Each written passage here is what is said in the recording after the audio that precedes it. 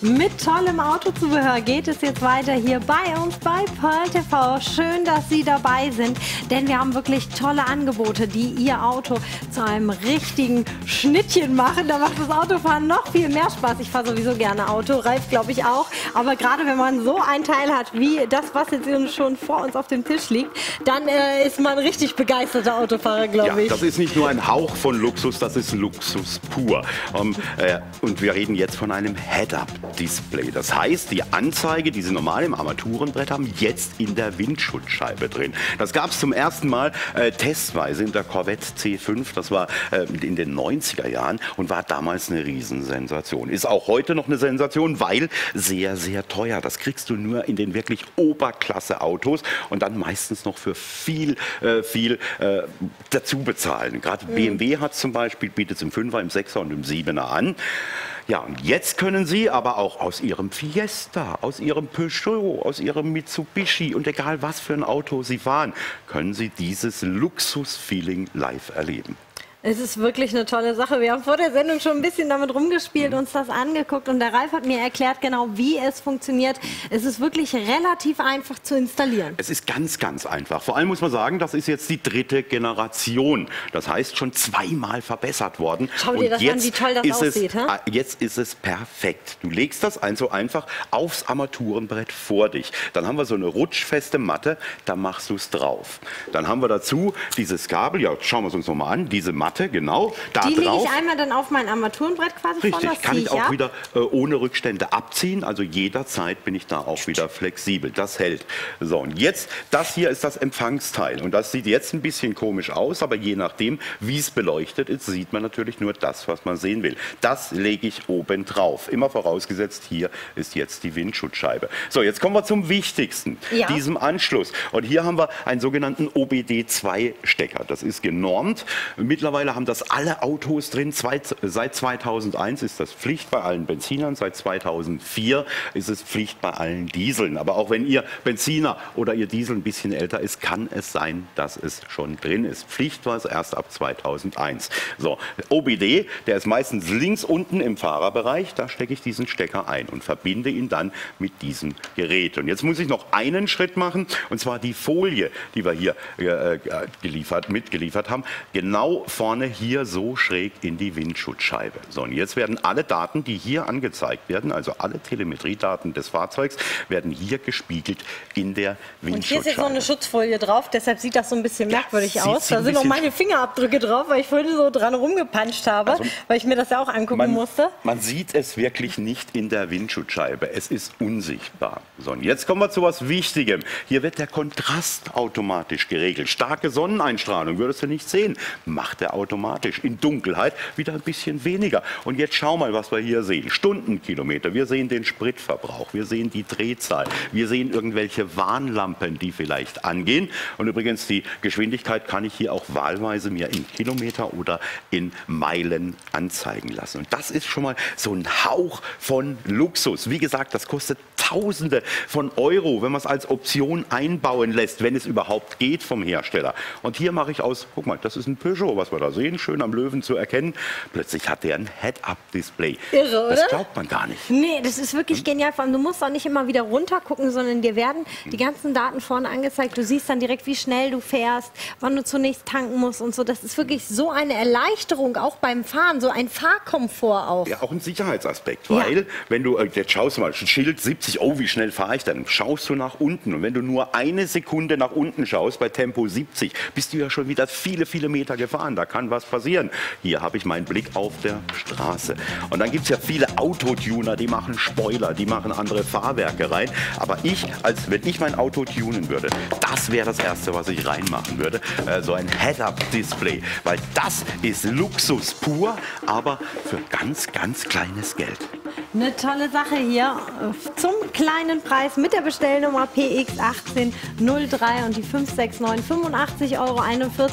Da kann man sich richtig Luxus für kleines Geld dann ins Auto holen. Das ist doch was für ja. Sie, oder? Machen Sie sich mal den Spaß, stellen Sie sich mal einen 7er BMW im Internet zusammen, kann man ja heutzutage machen und dann machen Sie das Head-Up-Display rein und gucken Sie mal, was diese Option zusätzlich kostet. Bei uns 85 Euro und ein paar verquetscht ist. So, wir bleiben aber bei den OBD-Steckern, weil die können auch für Sie zu Hause immer bedeutungsvoller werden. Wenn Sie einmal gewusst, äh, gefunden haben, wo der ist, dann werden Sie es nie mehr vergessen. Der ist auch einfach zu finden, ist immer ganz leicht zu erreichen. Das ist ja äh, so ein Merkmal, auch in der Werkstatt. Man muss leicht drankommen. Deshalb meistens links im Fußraum vom Fahrer. Und so. diese OBD-Adapter, das sind die, die auch in den Werkstätten verwendet werden, um, wenn mein Auto jetzt kaputt ist, wenn da irgendwas angezeigt wird, äh, dann haben die in der Werkstatt ja auch immer äh, so einen OBD-Adapter mit so einem, äh, Lade, äh, so einem Lesegerät da dran und mhm. da lesen die die Fehler aus, genau, richtig? Diagnosegerät. Gerät. Wichtig ist OBD2, so heißen die. Und dann finden wir das im kleinsten Auto heutzutage. Wie gesagt, das ist Pflicht. So, jetzt schließe ich ihn an, mache die Zündung an. Dann wird das Gerät automatisch auch über den OBD2-Stecker mit Strom versorgt. Und jetzt kann ich alle Telemetriedaten ablesen. Und das ganz übersichtlich. Hier, keine Codes jetzt in dem Fall, alles gut. Aber jetzt habe ich eine Fehlermeldung zum Beispiel. Airbag. Ärgerlich. Mhm. Wenn man zum siebten Mal in der Werkstatt war wegen Airbag-Lämpchen, kriegt man irgendwann mal die Krise. Ja, da ist es doch schön, wenn ich so ein Gerät habe. Da kann ich erstens mal noch mal schauen, was ist es und dann auch Fehlercodes löschen. Ich kann übrigens seit 2002 auch über dieses Gerät, über OBD, die Fahrgestellnummern nachschauen. Ja, vielleicht mal, wenn man einen Gebrauchtwagen kauft, einfach mal dranhängen und gucken, ist das nicht irgendeiner, der auf dubiosen Wegen äh, mhm. nach Deutschland kam, sondern so kann man das wirklich nochmal abgleichen, dann mit dem Fahrzeugbrief und vergleichen. Aber eben auch alle Daten. Der liest und löscht alle Diagnosefehlercodes der führenden Hersteller. Ist wirklich mal eine tolle Sache. Vielleicht auch mal, um zu schauen, äh, wie fährt jetzt mein Auto. Ich glaube, man kann da auch alles äh, an Geschwindigkeitsdaten und so Verbrauch und sowas dann auch alles auslesen. Ne? Sämtliche Telemetriedaten kannst du hier äh, wirklich auslesen. Braucht man vielleicht ein klein wenig länger, aber man kann sich alles mal anschauen. Und das ist so, so eben, wenn einer ein Auto hat, das so ab und zu mal zickt und man es wirklich leid ist, jetzt wieder in die Werkstatt Heutzutage zu fahren. ist eh so viel Elektronik mhm. in den Autos, da kommt das so häufig vor, dass man irgendein Lämpchen leuchtet und wie du sagst, dann fährt man in die aber, Werkstatt, die machen ja auch nichts anderes. Aber nicht einfach blind löschen, das ist auch wichtig, wenn mal wirklich ein Fehlercode, der relevant ist, angezeigt werden, trotzdem in die Werkstatt fahren, weil das ist ganz, ganz wichtig. Also die Werkstatt ersetzt es nicht, es gibt mir nur Sicherheit. Ich kann vorher mal schauen, was Sache ist. So, das mache ich jetzt im Stehen. Ja, mhm. Und das auch wieder für kleines Geld. Guck mal, was so ein Diagno äh, Diagnosegerät kostet. Und das wirklich für alle äh, Automarken ab 2001. 37,91 Euro hier bei uns heute zum TV-Sonderpreis. Und Ihre Bestellnummer ist hier die NC5502 und die 569. Absolut praktisch. Und da reicht ja noch eins, dann kann man von der ganzen Familie auch mal die Autos checken. Gerade wenn da was sein sollte, reicht ja, wenn Papa so eins hat, der kann dann von den äh, Enkeln noch mitgucken, von den Kindern und so weiter. Ne? Ist ja nicht fixiert auf ein ja. Auto. Wenn ich es da benutze, dann muss ich es immer da benutzen. Ich kann das mit 10, mit 100, mit 1000 Autos machen. Auch als äh, Kfz-Händler, wenn man nur handelt und keine eigene Werkstatt hat. So ein Gerät ist Gold wert. Jetzt kommen wir aber noch zum nächsten Schritt, auch wieder OBD2 und vom Prinzip her eigentlich das Gleiche. Die Möglichkeit, alle möglichen Telemetriedaten auszulesen, alle Fehlercodes anzuschauen, aber jetzt siehst du es mit Bluetooth.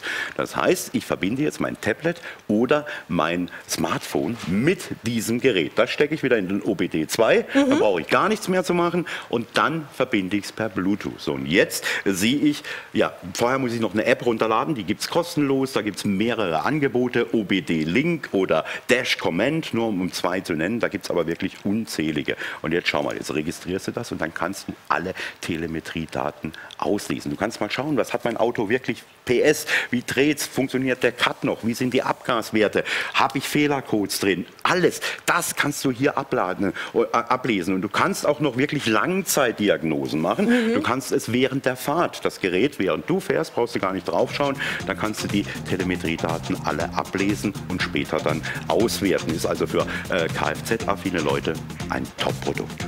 Funktioniert für alle Android-Geräte. 23,66 Euro der Preis. Die Bestellnummer NX3014 und die 569. Ein kleiner Helfer, wie gesagt, mit dem Android-Smartphone oder Tablet verbinden. Und schon können Sie auch da alle Daten auslesen. Übrigens auch für Apple-Nutzer. Einfach mal bei uns im Programm nachschauen. Das gibt es also dann auch für Apple und für iOS getriebene Geräte. Schauen Sie rein und viel Spaß damit.